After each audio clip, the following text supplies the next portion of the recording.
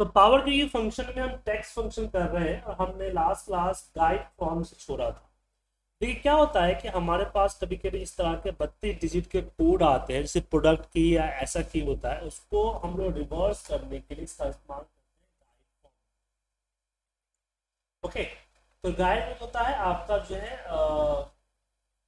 Return करता है guide type अगर मैं इसको करके दिखाऊँ आपको तो हम कस्टम में जाते हैं। यहाँ पे हम जीएफ देते हैं। मैं दोबारा बता रहा हूँ जी एफ़ गर्लफ्रेंड नहीं है। गर्लफ्रेंड नहीं है गाइड फॉर्म और यहाँ हम गाइड फॉर्म लगाते हैं ब्रैकेट ओपन करते हैं और इसमें अपना कोड जो बत्तीस डिजिट का कोड है, वो सेलेक्ट करके ओके कर देते हैं।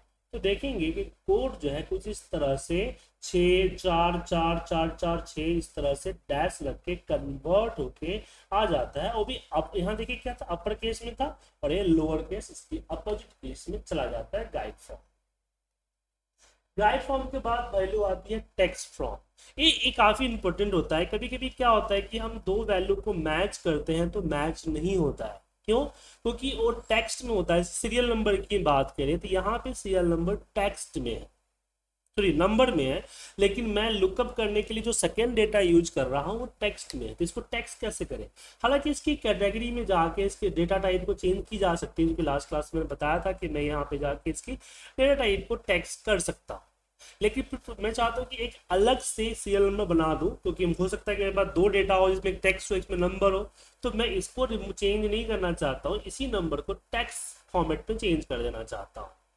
तो फ्रॉम इस पे आते हैं हम यहाँ पे देते हैं टेक्स्ट टी के नाम से टेक्स्ट फॉर्मेट और यहाँ पे हम लिखते हैं टेक्स्ट और टेक्स्ट डॉट फ्रॉम यहाँ पे नीचे आप देख पा रहे हैं टेक्स्ट डॉट फ्रॉम और फिर ब्रैकेट हमने ओपन किया और इसमें अपने सीरियल नंबर को डाल दिया। क्लोज एंड यहाँ ओके करते हैं। तो देखिए ए नंबर एबीसीडी फॉर्मेट में आ गया। टेक्स्ट फॉर्मेट में आ गया।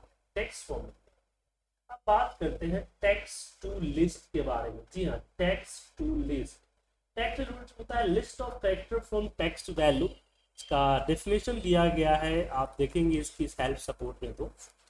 चलिए, मैं इसको नेम को टेक्स्ट लिस्ट के बारे में टी लिस्ट के नाम से बनाते हैं और टेक्स्ट लिस्ट लिस्ट फॉर्मूला हम देखते हैं। टेक्स्ट टू लिस्ट है, माफ़ कीजिएगा। टेक्स्ट डॉट टू लिस्ट यहाँ पे हमने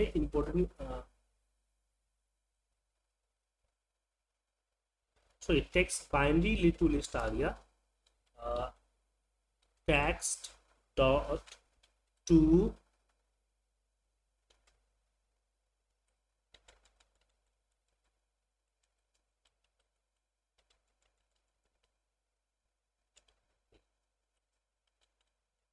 text to list एक वापस से ये आ गया। तो यहाँ डिलीट कर देते हैं। ओपन और यहाँ पे मान लीजिए मैंने नेम को रख लिया को क्लोज कर दिया। नो साइंटेक्स एरर ओके कर तो अब यहाँ एक लिस्ट तो आया, लेकिन लिस्ट लिस्ट लिस्ट करके आया। क्योंकि इसने जितने भी करेक्टर थे जो आपके करेक्टर दिख रहे हैं पूजा में, उसको अलग अलग सेल में कर दिया। तो अब इसको लिस्ट इस तरह से लिस्ट आपको दिखेगा जो आपको यहाँ दिख रहा है। मैं इसको क्लिक करके अगर हम एक्सट्रैक्ट इन न्यू रो कर दूँ या एक्सट्रैक्ट वैल्यू कर देता हूँ तो आपको बताना पड़ेगा किसमें करना है कॉमा सेपरेट करना है या क्या करना है? आपने बोला comma equal sign space tab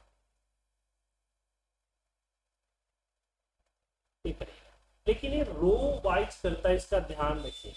देखिए, इसने एक ही सेल में इसको अलग अलग किया। तो रो वाइज इसको यहाँ पे करता है। इस तरह की चीज़ों करने के इसका इस्तेमाल हम कर सकते अब बात आती है value from text value from text अब इसका सिंपल सा ऑप्शन है कि आप अगर कोई टेक्स्ट देते हैं उसको वैल्यू में कन्वर्ट कर देता है। सिंपल सा। वैल्यू में कन्वर्ट कर देता है। बताने की ज़रूरत नहीं है, आगे हम बात करते हैं टेक्स्ट ऐड टेक्स्ट ऐड में आप जो है इसमें से कोई पर्टिकुलर करेक्टर ले सकते हैं। जैसे कि मान लीजिए कि मैं कोड में से ही चौथा करेक्टर लेना चाहता हूँ। मिड की तरह वर्क करता है। टेक्स्ट एट तो यहाँ पे हमने टेक्स्ट डॉट एड मेरा टेक्स्ट डॉट एड बैक देते हैं टेक्स्ट ऑलरेडी यहाँ पे आ गया, इसको यहाँ से हटा देते हैं। टेक्स्ट डॉट एंड ब्रैकेट में हमने ले लिया मान लीजिए कोड कोड और इसमें हमने बोला कि हमें कॉमा चौथा कनेक्शन चाहिए। यहाँ पे एंटर प्रेस कीजिए।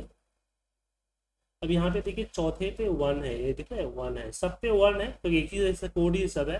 तो ये आपका चौथा ये ज़ीरो से काउंट करता है, इसका ध्यान रखिएगा। Zero, one, two, three, four. चौथा नंबर दे अगर चौथे की जगह पे मैं यहाँ पे मान लीजिए तीसरा करता हूँ तो तीसरा में देखिए ई e आया। वन से पहले क्या है? ई e है ई आया। और पांचवा करेक्टर कर दूँ तो ये हमारा पांचवा करेक्टर आएगा डी जो कि जी बात आता है टैक्स मिडल टैक्स मिडल ये बिल्कुल मिड फॉर्मूले की तरह वर्क करता है text middle T M D के नाम से हम लेते हैं। और यहाँ पे टैक्स ऐड हो गया।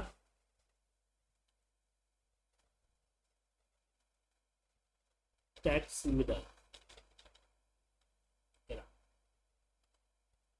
और ब्रैकेट को हमने ओपन किया। और मान लीजिए मैंने इसमें कोड को ही डालता हूँ। और बोलता हूँ कि यहाँ पे कि पाँच में से मुझे छः डिजिट चाहिए। और यहाँ पे ओके कीजिए। ये आपका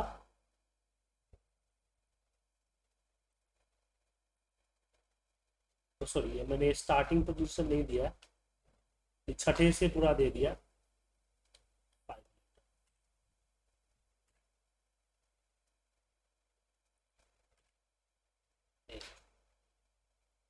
तो पाँच करेक्टर इसने दे दिया। तो फॉर्मूला क्या लगा था हमने?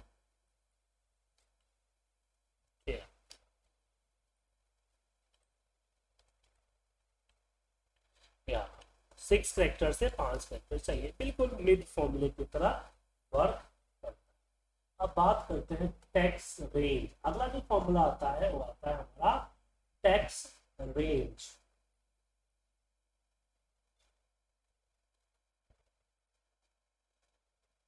कस्टम पे जाते हैं। और यहाँ पे टी आर के नाम से एक बनाते हैं टी आर टैक्स रेंज और यहाँ हम देते हैं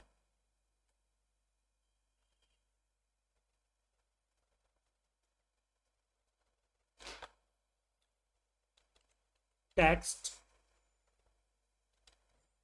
नीचे आइए टेक्स्ट रेंज दिख जाएगा। आप पूरा लिख भी सकते हैं, लेकिन मैं रेंज देता हूँ ट्राई के। और इसमें मान लीजिए हमने बोल दिया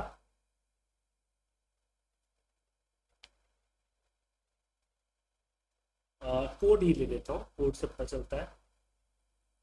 और इसमें बताता है रेंज कि कितना ऑप्शन चाहिए तो हमने सिक्स कर दिया। एंटर कीजिए।